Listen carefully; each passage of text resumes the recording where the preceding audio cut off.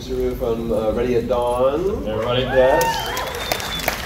Jason Rubin, who's the uh, content creator uh, for you. You kind of VP own of everything. content, yeah. VP of content uh, for Oculus, and we have a funny story to tell you, which is kind of on brand since we're talking about narrative in, in VR. Um, obviously, we could sit here and talk all day about Lone Echo 2. That's what we want to talk about, of course. Uh, who played Lone Echo? Anybody? Yeah. Thank you so much for playing. Okay. Um, you're who we are trying to reach. Uh, so thank you so much. His name is Tim. Um, there, I, I have notes, don't worry, so I'm going to try and stay on brand as much as I can, but uh, we, we can talk about Lone Echo, which 89 Metacritic, which Yeah. is, we all know is super hard to get, especially for a VR title. Um, swept the awards. Uh, was such a unique experience. I was a part of it. I got to play Jack, um, written and directed by this lovely man. And first, I kind of want to rewind the clock a little bit because I remember parts of how this whole thing came to be, and I remember parts of it because it's been a while, and also it was in Vegas, so there's a, there's spotty memories of, of how how it came to be. But what I remember is 2014. Yeah. Sounds right. right, Okay, 2014. Um, you and I were having a drink up at the cool lounge at the Cosmo Hotel, and it's it was super vibrant. It's more like uh, system, uh, the systems that I have in place, the mechanics I have in place. You didn't even have it. You just had like a hope, no plan, just a hope and an idea of what it could Well, be. you started with the mechanic, Yeah, the yeah. zero gravity, moving yourself around in zero gravity mechanic, which nobody had done before in any medium because there had never been anything like VR before. And we didn't think would work because we thought there was too much motion at the time. We were new to VR, we thought this is going to make people uncomfortable. And Ready at Dawn basically created this locomotion that gets around some of the challenges of VR.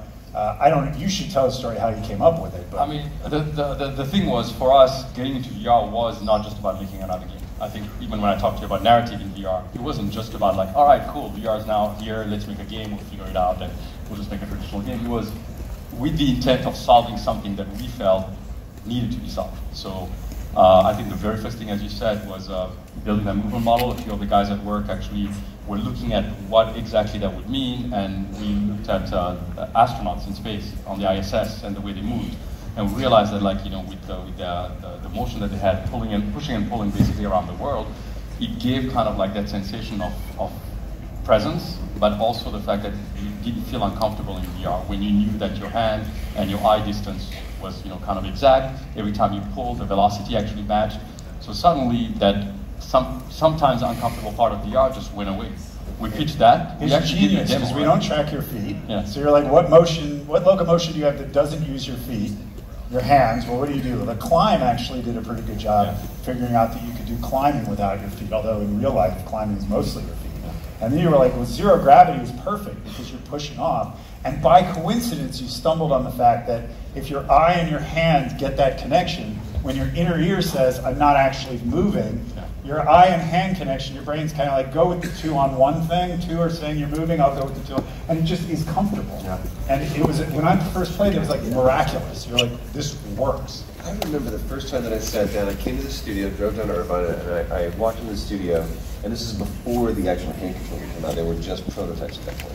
So you, you put a controller in my hand, and I sat down at, on the chair and played through it. I, I, I kind of fumbled through it a little bit. I was doing okay. I'm, I'm, I'm a decent gamer, but I the, the control the, the experience felt intuitive, but the controls didn't. And I came out about, I was like, how was like seven minutes? They're like, no, you've been there for like 15 or 20 minutes. I'm like, that's impossible. No one's in VR for that long. You're like, I want to show you something we haven't shown. And he put the controls in my hands.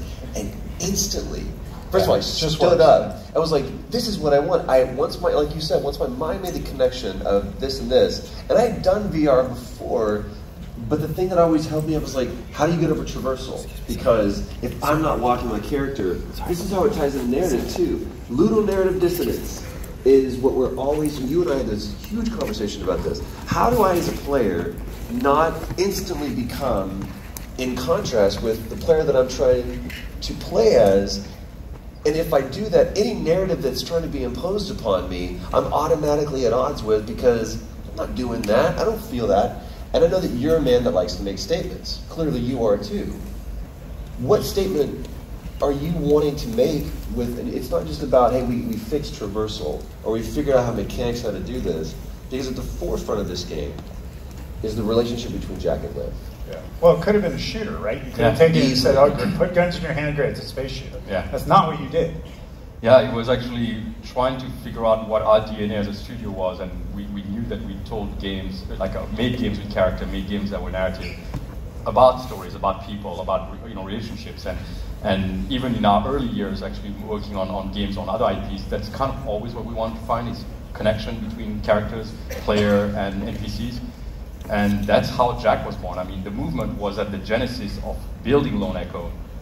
The funny thing about it is that the IP came after. So the IP was built around this idea that, like, all right, we're going to be in zero G, we're going to make this game the future of humanity.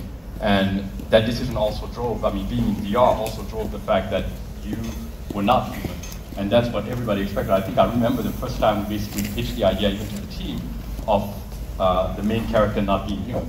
You would want to play human, right? You're in VR, you're, you are the character. You're not, no longer playing the character. You're actually the character, and you are embodying this character that's going through a journey and a relationship with another NPC character in the game. And we decided the best way to do that is for you not to be human.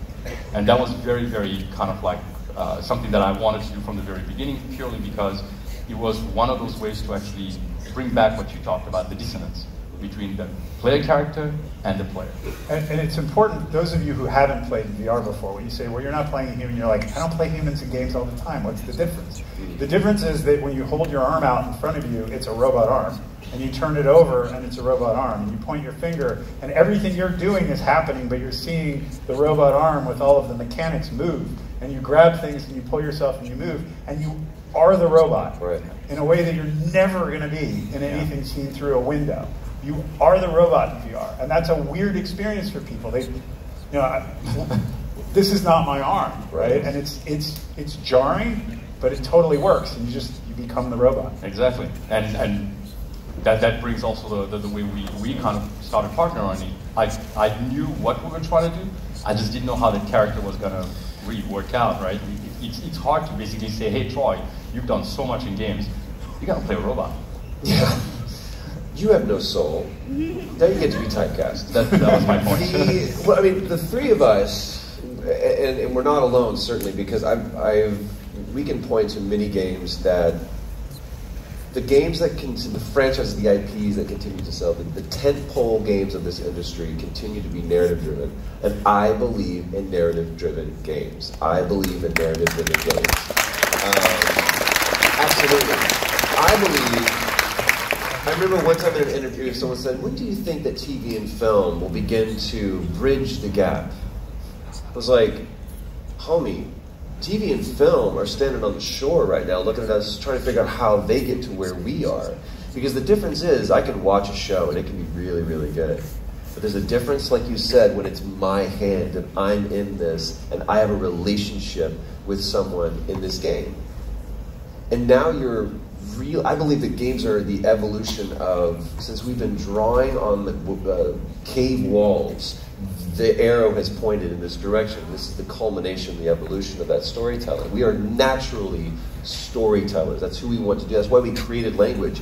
Dude, Og, you gotta come see this woolly mammoth that I killed. Let me draw it for you. That's what we do as storytellers. And the thing that we always want to tell is the story of the relationships that we have.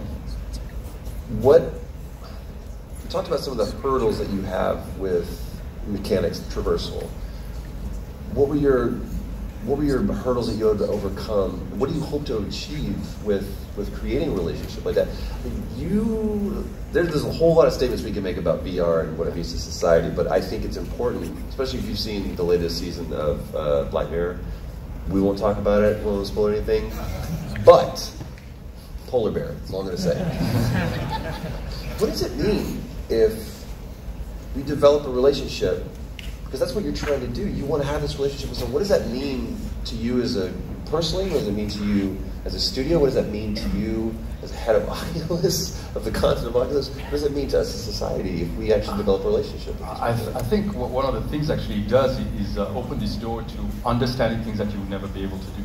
You're able to basically be in the shoes of someone that you would never be in in your real life and experience that kind of relationship. You know, we started off with uh, you know, in space or an android and, and an NPC human that plays against you, and you have a connection. That was the beauty of it. It's how do you build that connection? How do people speak to you once you're in you know in the in the player's body? How, how do you develop a friendship? What she says every time she says something, does it affect you? Does it piss you off because she's being bossy to you. We had that, you know, happening. So slowly, as we build the character, we realized that we could actually push and pull on the, you know, emotional strings of the player.